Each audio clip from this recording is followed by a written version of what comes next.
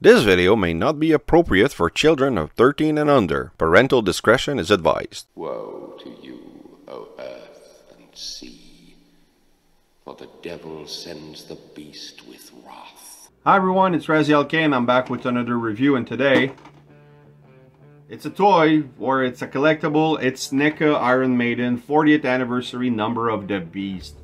And I just want to clarify something first. I'm not what we call a metalhead because I don't know all the bands. I don't know all the group members. I just enjoy heavy metal, you know, as a genre and, you know, having fun listening to music. But I really like this album. And when NECA came out with this, uh, I had some points with uh, GC, DJC Collectibles, my sponsor. So I used those points to get this guy. And it's already opened and it's not an articulated figure. I'll show you. Uh, but yeah, I just wanted to do something different and this allows you to recreate the album and the single cover. So yeah, that's pretty cool. I really enjoyed this, uh, you know, having this on my display. Uh, it's very different. Uh, I don't collect NECAs, uh, but uh, I do get the, you know, odd NECA Universal Monsters and stuff like that from my girlfriend for her Halloween display. So anyway, thanks for coming by to listening to, to listen to this, and uh, hopefully you will uh, you know want to buy some uh, NECA Iron Maiden afterwards. I it's worth it. It's really fun if you're uh, a fan of the the band or you know heavy metal as as a whole. But before I go on with the review, I just want to remind everyone to check out my voice acting playlist, the main feature of my channel, something I'm very proud of, and also check out DJC Collectibles, my sponsor, fantastic online store, and at the end of this video, you can get your 10% discount code for anything Transformers. So, not this, sorry. And now, let's roll the intro.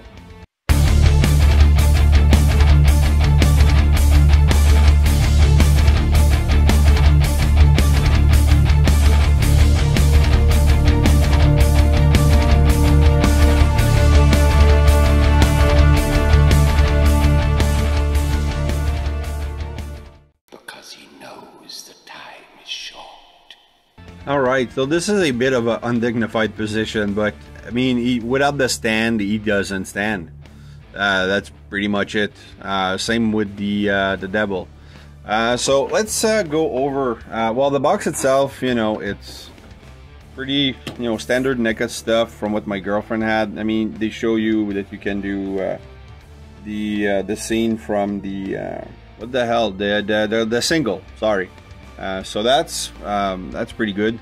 Um, I seem to be having an issue with posing him looking tall like that so maybe we'll try something now. You have again this scene here. Sorry about the ring light but this is a very reflective surface. Uh, you have uh, a description uh, based on the album. Recreate both the classic single and album cover. Uh, this is probably one of my favorites. Hold on let me raise this this is probably one of my favorite album cover of all times. I mean, it's iconic, uh, and you know, they did a really good job. Actually, you know what? Can I? Yeah. Let's uh, let's pan it like that.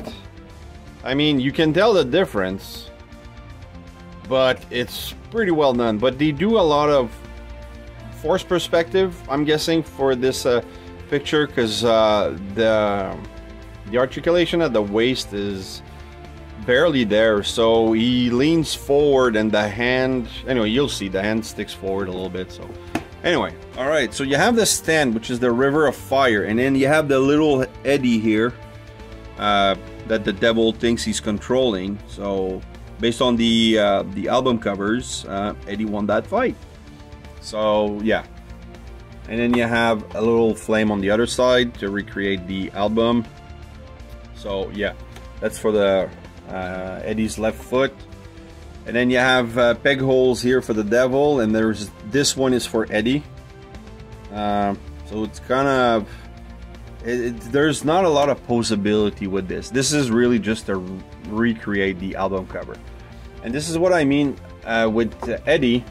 Uh, there's barely a waist uh, ab crunch you know so you can put it here um, so basically when they say that you can recreate the album the, the single covers um, yeah, you have to turn the hand like this. You kind of see that's the thing. Once you have the stand on him, the other leg doesn't touch down. So, and if you, if I just leave it, you know, he just falls down. So, uh, yeah. But you can put the head in between the blood. Well, let me do it off camera. I don't want to break it. So there you go. This is... Uh, see what I mean by forced perspective? He, he's leaning forward a little too much. Like in the album, he kind of looks like this. But now it he's facing downward. So if, you know, I put the camera down a little bit, you get a, a better perspective. So when he's up on the shelf, higher than, you know, where I'm seating, it looks amazing. So maybe I'll try to do a shot like that uh, afterwards. Uh, so that's what you can do. Uh, the head itself, come on, stuck there now. There you go. The devil head itself looks really good. Oh, having a hard time focusing. Come on, camera, you can do this. There you go. Um, I never noticed. That's my observation sense. It's terrible. Uh, I never noticed that he had like more like mermaid fins rather than the classic devil horns. Uh, but it looks really good. It's quite unique uh, for a look for, you know, our Lord Satan. This looks really good. Nice. Come on, focus. Keep losing focus. Looks really good. And then the devil himself. Uh, this is an accessory that comes uh, separately, but it's so tight in that hand that I'm not to move it. And you see, when he's like this, he's looking completely down. But on the album, he's looking kind of like this so it's really a question of uh, force perspective because there's no articulation on any of the, the arms or the legs. Uh, but the wings do have articulation so that you can place it um, so that Eddie is not obstructed by it. But, you know, but there's not much else to do. You can't really pose him in any other pose. So, but it's a good representation of, you know, the album. Uh, so basically, you put him over little Eddie like this, and then you kind of just put the other uh, the other foot behind the fire, and there you go. See, look at the angle I have to, to use so that it recreates the uh, the album. So, you know, the eyesight has to be a little lower. So I guess on the cover, we're looking down from under a mountain, like, you know, not under the mountain, but down a mountain uh, or a cliff.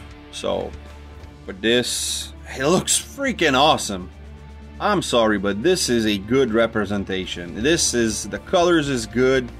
Uh, you know, the black and red with the wings, you know, the all the veins inside the wings very detailed. The head sculpt is really good. Matches what we have. I mean, the mustache, I think I knocked it a little bit, but overall. And then even the little Eddie here, you know, uh, that the devil thinks he's controlling. Uh, it's well done. I mean, you have the color, you have the. The only thing is that there's no actual strings, so that would be really cool. Uh, but man, I like this. Let him who hath understanding reckon the number of the beast.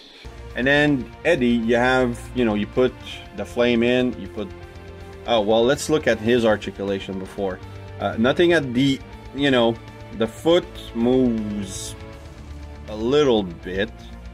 Um, and then you have a rotation here at the arm. Uh, you have an elbow. Oh man, this is so tight. You have an elbow joint here, really tight, and the hand will rotate like this and will move a little bit, you know, back and forth. Does this one turn? No, it doesn't. And then this one here also extends. And this rotates. And yeah, the fire I added and it's hard to put in, so I'm gonna leave it there. And then the hand moves. Does it move up and down? Yeah, a little bit. Uh, the hand, the shoulder has a joint, a tight one, and the head rotates a little bit left and right like this.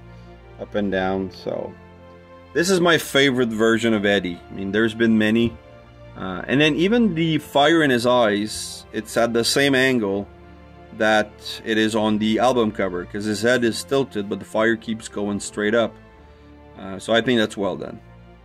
Nope, this is, you know, and our parents were so afraid of us, you know, worshiping the devil and shit like that.